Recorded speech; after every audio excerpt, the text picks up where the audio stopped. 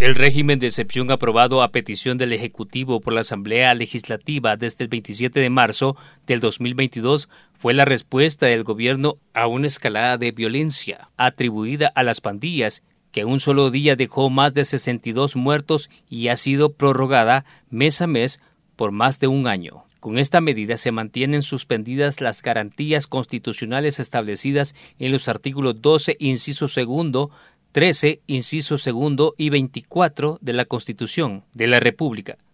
los cuales se refieren al derecho de defensa, a ser informado inmediatamente las razones de la detención, al plazo máximo de detención administrativa de 72 horas a 15 días y la inviolabilidad de la correspondencia y las telecomunicaciones,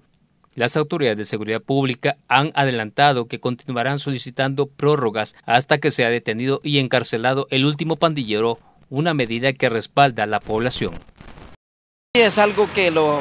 pues que nos da un poco de tranquilidad a la gente que andamos trabajando y que andamos viendo ganando el sustento diario, que sí se mantenga, porque es lo que los hacen ir por donde antes no podíamos andar. La verdad que sí, la verdad que sí uno ve y respira otro, otro ambiente, otro aire, creo. Por una parte está bien, pues, porque uno sale donde quiera, pues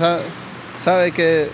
va a llegar con bien a la casa. Datos del movimiento denominado Víctimas del Régimen señalan que son cientos de personas detenidas injustamente. Han presentado ante la Corte Suprema de Justicia al menos 250 habeas corpus una herramienta jurídica que solicita que el imputado comparezca inmediatamente ante un tribunal para que un juez decida si la detención es ilegal. El régimen de excepción, que según las encuestas cuenta con aprobación del 80% de la población,